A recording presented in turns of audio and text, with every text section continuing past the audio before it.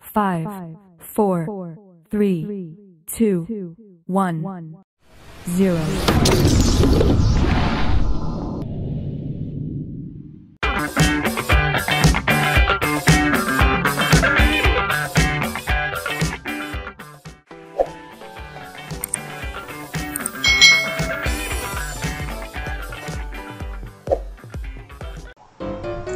Hi, hi, hai Selamat datang kembali di channel youtube Kak Citra Apa kabarnya adik-adik semuanya?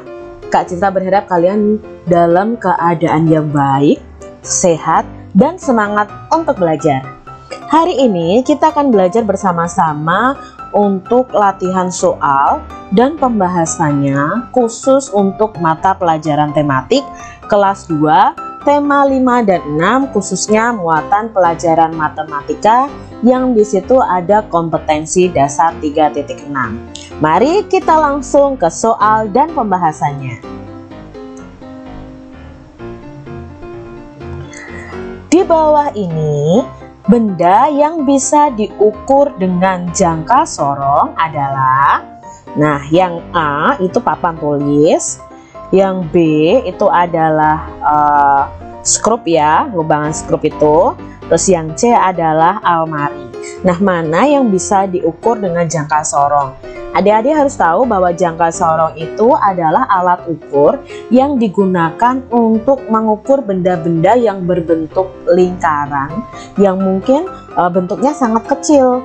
Jadi, uh, benda yang bisa diukur dengan jangka sorong itu yang pastinya adalah yang B. Nomor 2. Perhatikan gambar di samping. Nah, gambar di samping ada penggaris A dan penggaris B. Panjang penggaris A, titik-titik penggaris B. Kita lihat penggaris A, titik-titik penggaris B. Berarti di sini ada perbandingan. A sama panjang, B lebih pendek atau C lebih panjang. Penggaris A ya lebih panjang daripada penggaris B.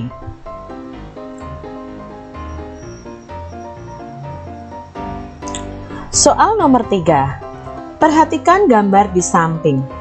Panjang pensil di samping adalah titik-titik sentimeter.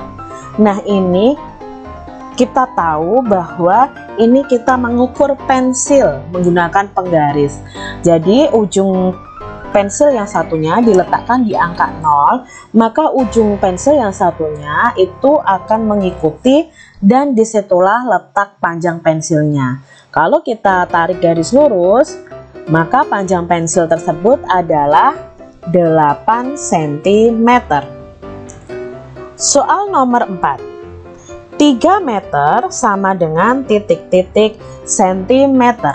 A 3,4 B 340, C 3400. Nah, di sini adik-adik harus tahu bahwa 1 meter itu ada 100 cm. Jika 34 meter sama dengan berapa cm? Nah, berarti kalau 34 meter dijadikan cm, 34-nya kita kalikan 100. Kalau adik-adik belum bisa perkalian yang terlalu banyak angkanya, nah di sini ada angka 0. Ada angka 0 pada angka 100. Nolnya ada dua, kita sembunyikan dulu nih. 34 dikali 1. 34 kali 1 jawabnya 34. Lalu kita berikan tambahan 02 yang kita sembunyikan tadi di belakangnya. Maka jawabnya adalah 3400 cm meter. Soal nomor 5. Ibu mempunyai tali dengan panjang 600 cm. Lalu ibu menyambung tali itu dengan tali yang lain yang panjangnya 700 cm. Maka panjang tali ibu sekarang adalah titik-titik meter. Hal pertama yang harus kita ketahui adalah 1 meter itu sama dengan 100 cm. Nah, ibu di sini punya tali, lalu menyambung lagi tali tersebut. Berarti panjang talinya akan bertambah. Di sini kita tambahkan 600 cm ditambah 700 cm sama dengan titik-titik meter karena yang di sini yang ditanyakan adalah meter nah kita jumlahkan dulu 600 ditambah 700 600 ditambah 700 itu jawabnya 1300 cm setelah itu baru kita ubah ke meter nah Sentimeter ke meter itu merupakan kebalikan, berarti 100 cm ada 1 meter. 1300 cm ada berapa meter? Nah, di sini karena kebalikannya, maka tidak kita kali, tapi kita bagi. Berarti 1300 dibagi 100. Kalau pembagian ada angka 0, angka nolnya dua-duanya cukup kita coret ya adik-adik. Kalau depan punya dua angka 0, belakang juga punya dua angka 0, kita coret dua-duanya jadi banyaknya nol berapa misalnya yang depan dua yang belakang satu ya berarti yang dicoret cuma satu. Karena di sini sama-sama punya dua angka nol maka kita coret angka nolnya juga sama-sama dua. Ketemu pembagian yang baru yaitu 13 dibagi satu. Angka berapapun kalau dibagi satu ya jawabnya angka itu sendiri. Maka hasilnya adalah 13 meter. Soal nomor 6. Perhatikan gambar di samping. Udin mengukur panjang sebuah papan. Panjang papan tersebut adalah titik-titik A 8 hasta, B 8 kaki atau C 8 depa. Nah, di sini Udin mengukurnya menggunakan apa itu adik-adik? Udin kan melangkahkan kakinya. Berarti dia mengukur panjang kaki dengan panjang kakinya. Nah, di situ ada delapan kaki. Adik-adik harus tahu bahwa ini adalah alat ukur yang tidak baku karena panjang kaki masing-masing orang itu berbeda-beda. Kalau panjang e, mengukur panjang suatu benda dengan alat e, alat ukur yang baku itu seperti penggaris, roll meter, meteran pita itu adalah alat ukur yang baku. Kalau hasta, kaki, depa, langkah kaki itu merupakan alat ukur yang tidak baku. Nomor 7. Hasil dari 22 meter dikurangi 2 meter sama dengan titik-titik sentimeter. Nah, kita kembali harus tahu adik-adik bahwa 1 meter itu sama dengan 100 cm. Di sini kita kurangkan terlebih dahulu 22 meter dikurangi 2 meter, baru nanti kita jadikan cm. 22 dikurangi 2 sama dengan ya sama dengan 20 meter. 20 meter sekarang kita ubah menjadi cm.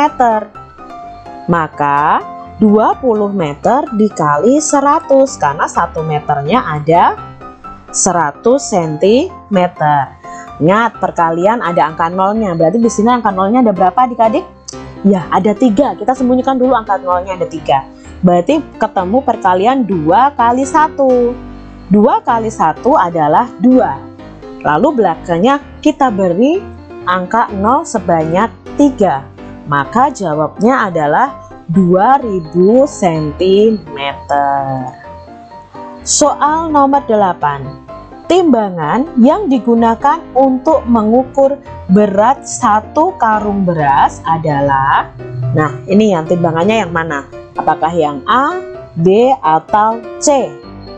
Kalau satu karung beras otomatis kita harus memakai timbangan yang A. Soal nomor 9. Perhatikan gambar di samping. Itu ada gambar melon dan gambar semangka. Berat melon titik-titik berat semangka. Apakah berat melon itu lebih ringan atau sama berat atau lebih berat dari semangka? Ya, jawabnya berat melon lebih ringan daripada berat semangka. Soal nomor 10. Bibi Jenny memiliki tepung terigu sebanyak 30 ons. Tepung itu lalu digunakan untuk membuat kue sebanyak 20 ons. Maka sisa tepung terigu Bibi Jenny adalah maka di sini tepung terigunya itu berkurang karena digunakan untuk membuat kue. Berarti 30 ons dikurangi 20 ons sama dengan titik-titik ons. Karena di sini satuan beratnya sudah sama yaitu ons, berarti kita tinggal mengurangkan saja adik-adik. 30 dikurangi 20 sama dengan 10 ons. Maka jawabnya adalah yang C. Soal nomor 11. Perhatikan gambar di samping. Berat pepaya tersebut sama dengan titik-titik ons. Di situ ada gambar pepaya dan diberi keterangan beratnya adalah 5 kg. Nah, 5 kg ini kita ubah menjadi ons. 1 kg itu sama dengan 10 ons. Berarti untuk mencari 5 kg berapa ons? Caranya adalah 5 dikali 10 ons. 5 dikali 10 ons sama dengan 50 ons. Berarti jawabnya yang A. Soal nomor 12. Hasil dari 4 kg ditambah 2 kg sama dengan titik-titik gram. A 60, B 600 atau C 6000. 1 kilogram itu ada 1000 gram. Nah, untuk mengerjakan soal ini, kita tambahkan terlebih dahulu 4 kg ditambah 2 kg, baru nanti kita ubah menjadi gram. 4 kg ditambah 2 kg sama dengan 6 kg. Nah, 6 kg itu ada berapa gram? Kita kalikan 6 dikali 1000. Nah, kita di sini harus tahu perkalian dengan angka 0. Jadi angka 0 itu ada 3 di sini, kita sembunyikan terlebih dahulu, lalu kita kalikan 6 kali 1. 6 kali 1 adalah 6, lalu kita tambahkan lagi 0 yang kita sembunyikan tadi. Berarti jawabnya ada 6000 gram. Soal nomor 13. Bibi membeli ikan seberat 3 kg. Penjualnya menimbang ikan tersebut dengan timbangan pasar.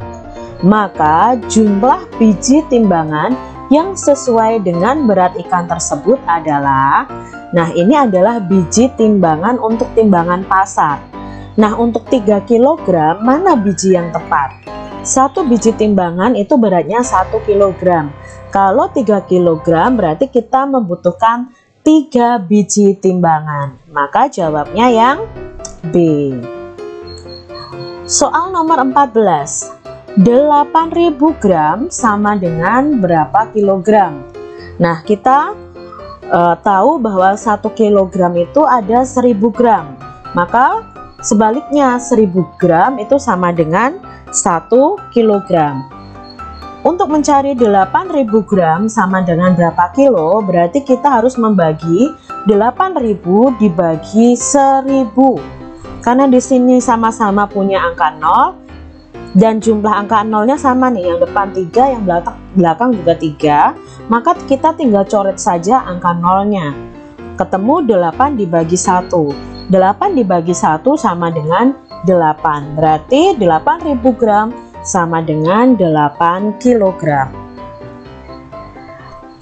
Nomor 15. Hasil dari 5 kg ditambah 20 ons sama dengan berapa ons? Nah, berarti kita harus tahu 1 kg ada berapa ons. 1 kg ada 10 ons.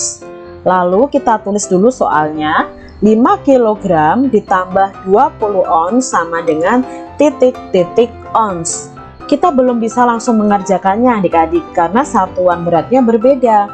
Maka kita harus ubah 5 kg ini menjadi ons ya. Menjadi ons kita ubah dulu. 5 kg jadi ons berarti 5 dikali 10. Nah, baru ditambahkan 20 ons. 5 dikali 10 adalah 50. Berarti 50 ons ditambah 20 ons.